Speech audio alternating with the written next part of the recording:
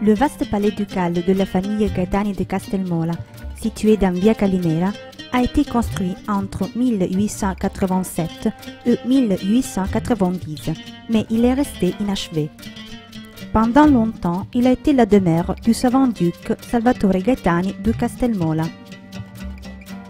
Toutefois, en 1999, son fils Gelasio le céda à la municipalité de Martano, en devenant ainsi un bien public. Le palais ducal est caractérisé par les styles néoclassiques du XIXe siècle et par un goût éclectique similaire à celui des grands palais conçus pour les anciens centres urbains.